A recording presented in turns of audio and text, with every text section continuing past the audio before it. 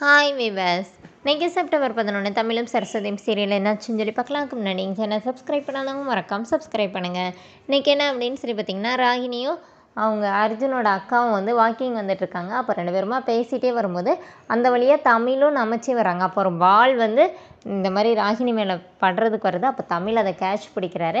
அப்போ நமச்சி ஒரு நிமிஷம் வண்டியை நிப்பாட்டு பண்ணோன்னே தமிழ் சொல்கிறவா நம்ம போகணுன்னே இருடா அப்படின்னு சொல்லிட்டு இறங்கி வந்து அன்னைக்கு இந்த மாதிரி தமிழ் தான் உன் புருஷனை கொல்ல வந்தான்னு சொல்லிட்டு அந்த சரஸ்வதி நீ எப்படியெல்லாம் பேசுன? ஆனால் இன்னைக்கு உண்மையெல்லாம் வெளியில் வந்த பிறகு அமைதியாக இருக்கிற உனக்குன்னா அசிங்கமாகவே இல்லையான்னு சொல்லிட்டு ராகினியை வந்து நமச்சு நல்லா கேளு கேளுன்னு கேட்குறாரு இப்படிலாம் அண்ணன் தம்பி இப்படி சந்தோஷமாக இருந்த குடும்பத்தில் எல்லாத்தையும் விரட்டி விட்டுட்டு நீ மட்டும் அந்த வீட்டில் சந்தோஷமாக இருந்துருவியா?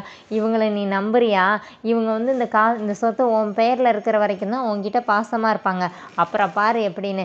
சின்ன வயசுலேருந்தே உன்னை தூக்கி வளர்த்தது இவன் தானே. நீ டாக்டர் ஆகணும்னு சொல்லிட்டு அவன் எவ்வளோ ஆசைப்பட்டான் நீனா டாக்டர் படிச்சியா என்னன்னே தெரியல அப்படிங்கிற மாதிரி நமச்சு நல்லா திட்டிட்டு தமிழும் நமச்சு அங்கேருந்து கிளம்பிடுறாங்க. இப்போ இங்கே வீட்டில் என்ன ஆகுது அப்படின்னா தமிழுக்கு வந்து வீடு பார்க்க சொல்லியிருக்கிறாரு. அதனால் ஒரு புரோக்கர் வந்து சொல்கிறாரு இந்த மாதிரி வீடு மூணு நாலு வீடு பார்த்துருக்கேன் வந்தால் முடிச்சிடலாம் அப்படின்னு.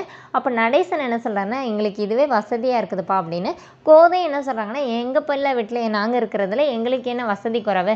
இந்த வீடு எங்களுக்கு போதும். முன்னாடி நம்ம இந்த வீட்டில் இருந்து தானுங்க கொஞ்சம் கொஞ்சமாக முன்னேறி அந்த நிலைமைக்கு வந்தோம் அப்படிங்கிற மாதிரி சொன்னோன்னே இப்போ சரின்னு சொல்லிட்டு எல்லாருமே அமைதியாயிடுறாங்க. வீடு வேணான்னு சொல்லிடுறாங்க.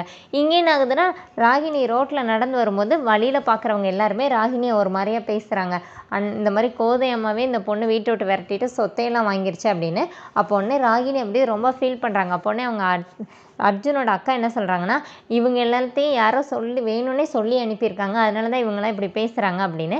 அப்போ அபி அந்த வழியாக வராங்க அப்போ ராகினி ஓடி போய் அபியை பிடிச்சி நீ கூட என் வீட்டை விட்டு வெளியில் பண்ணணுன்னே ஏமா நம்ம வீடு எவ்வளோ சந்தோஷமாக அம்மா அண்ணன் அக்கான்னு சொல்லிட்டு சந்தோஷமாக இருந்தோம். நீங்கள் பாட்டுக்கு எல்லாத்தையும் விரட்டி விட்டுட்டீங்க.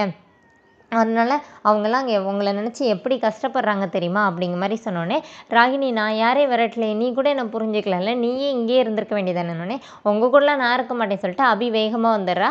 இப்போ கார்த்தியும் நடேசனும் போய் லாயரை பார்க்க போகும்போது லாயர் என்ன சொல்கிறாங்கன்னா நீங்கள் ஏமாற்றி சொத்தை எழுதி வாங்கிட்டாங்கன்னு சொல்லிட்டு வாயில் தான் நீங்கள் சொல்ல முடியும். ஆனால் ஆதாரம் இல்லைல்ல. இந்த மாதிரி கேஸ் ஃபிஃப்டி ஃபிஃப்டி தான் எதனாச்சுமே பார்க்கலாம் அப்படிங்கிற மாதிரி சொல்லி அனுப்பிவிட்றாங்க.